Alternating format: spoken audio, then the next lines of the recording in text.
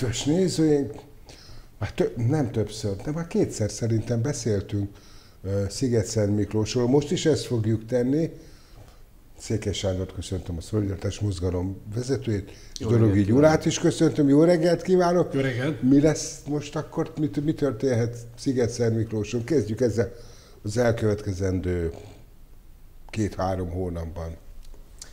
Szerkesztő úr, ráfordultunk a kampánynak a célegyenesére. Ugye... Mindenki? Bocsát, akkor kérdezzük. Mert olybá tűnik, egyelőre olybá tűnik, hogy mindenki nagyon beszél a kampányról, de mint az, az apró, apró megjelenéseket nem látom mindenütt. Érdekes, hogy ezt mondja, mert valóban nekünk is ez a érzésünk most a Sziget Miklóson, mintha csak mi kampányolnánk. A mi ebben az esetben a Szolidaritás Mozgalom és a eredeti ellenzéki egyesület megalakult civil szervezetnek a, a tagsága és csapata.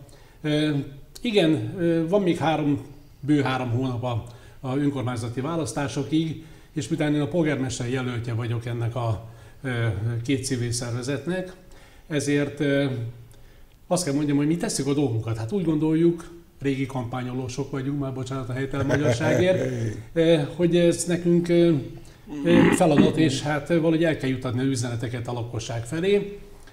Hagyj csak egyem azzal, hogy éppen a tegnapi nap kezdtünk el egy 16.800 darabos szórólapot szórni Sziget Miklóson.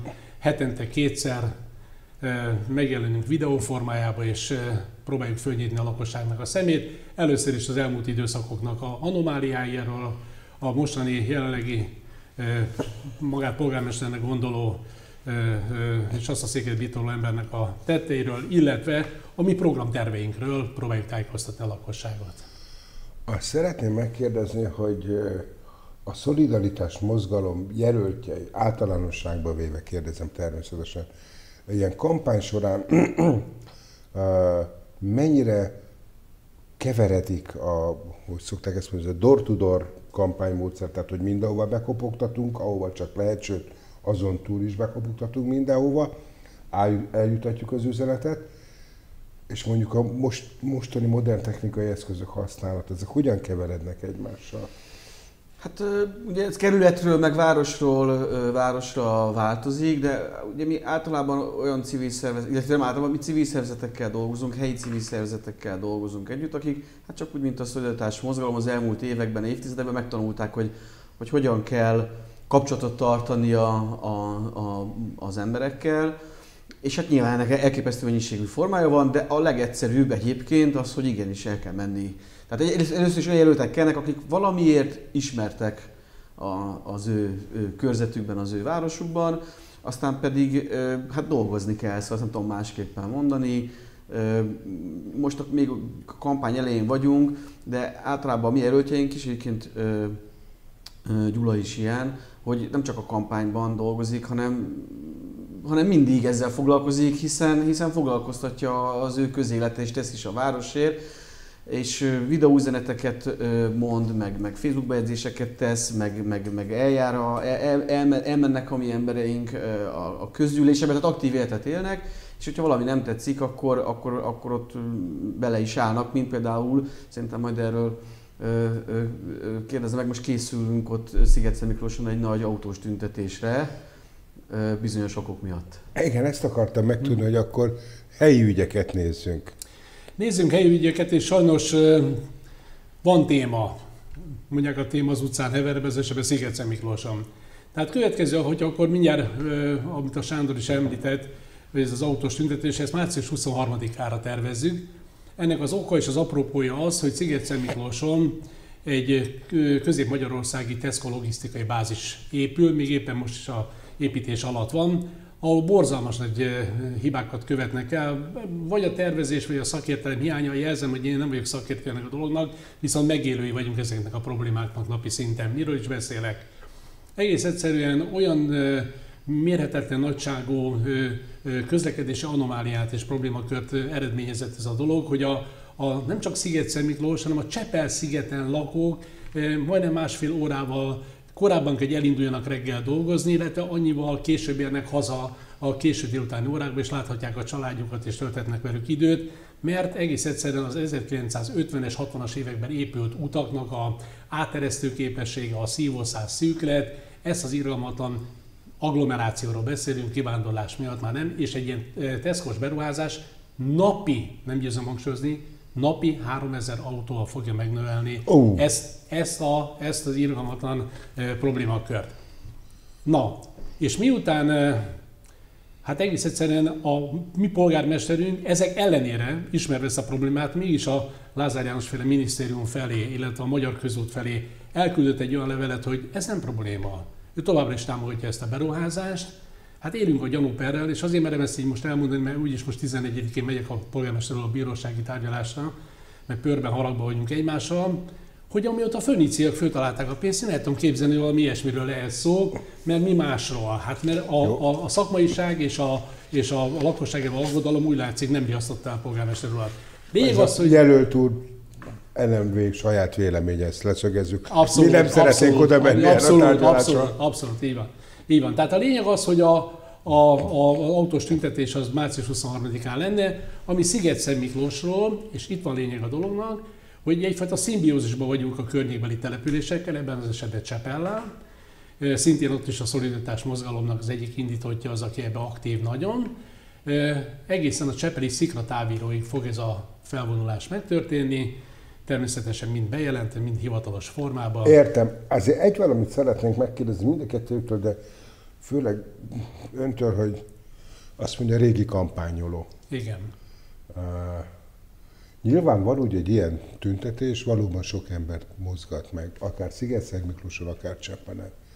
És a kampány során sokszor mondják nyilvánvalóan önnek is, hogy igen, jó, támogatjuk, és rendben van.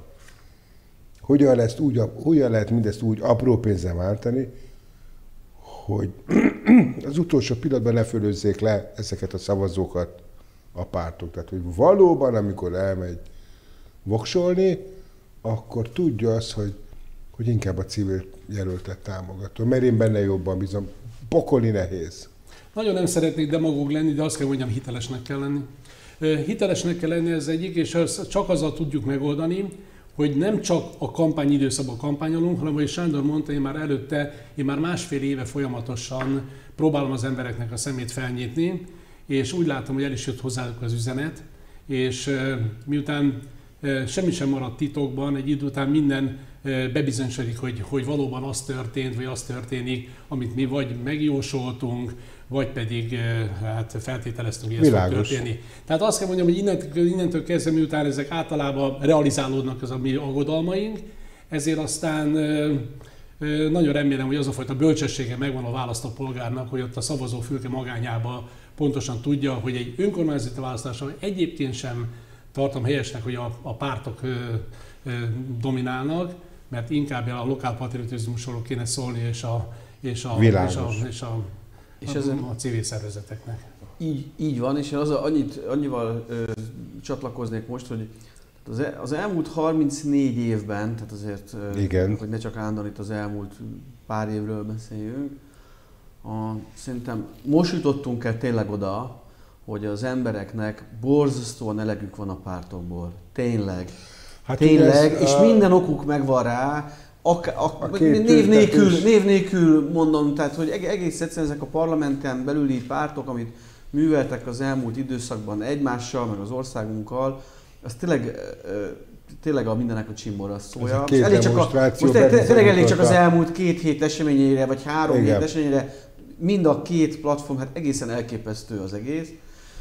És az mindenki, szerintem azt az emberek tudják és érzik, hogy hát legalább az önkormányzatokban ne szűrődjön le ez az állandó és örökös, és hát néha már egészen undorító pártközi csatározások, aminek semmi köze nincs a városhoz, hogy hogyan lesz annak a falunak, városnak, fővárosnak jobb, hanem állandóan mindig csak ez a pártpolitikai őrület van, és szerintem ez most nagyon jön. Tehát, hogy, hogy ilyen Világos. politikai nyelv, hogy ez benne van a levegőben, hogy egész egyszerűen az emberek keresik hogy hogy, hogy, hogy, hogy lehetne, egyrészt el akarnak menni szavazni, másrészt nem akarnak ezekre a szervezetekre szavazni, és itt az önkormányzati választások azok, ahol, ahol bizony a szolidaritás mozgalom is, a szolidaritás mozgalomnak a, a partnerei is, de egy csomó helyen másutt is, mások is indulnak civil szervezetekért, és azt gondolom, hogy sok helyen lesz meglepetés. Már csak egy kérdésem van így a végén.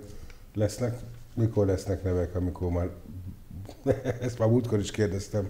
A, éppen a mai napon ö, mutattuk be a, a harmadik polgármester, jelünk, polgármester jelöltünket, ő a 8. 8. kerületi Simon György, és remélem, hogy a héten még bemutatunk két polgármestert, így már öt kerületbe fogunk polgármester jelölteket indítani. Ez, ez a szám, ugye most a hetekben most már mindenkit be fogunk mutatni, tehát gyorsan el fogunk érni a 10-12-ig, itt Budapesten. Ugye Gyula az Sziget Miklóson a közös jelöltünk. Csepel is van, 9. kerület is van, ott a Cséplő Dániel van, Ugye és most még nem lövöm le a következő neveket, hiszen azok a napokban lesznek bemutatva, és hát jönni fognak majd a vidéki városok is, szóval, hogy most már igen, most már, most már mutogatjuk, és nagyon büszkén mutatjuk be az új jelöltjeinket. Úgyhogy ennek kapcsán fogunk többször is beszélgetni. Általánosan jelöltekről, egy-egy településről, lehet, hogy még folytatjuk Sziget Miklóst is. Köszönöm szépen, hogy itt voltatok. Mi köszönjük szépen, további szép napot kívánok!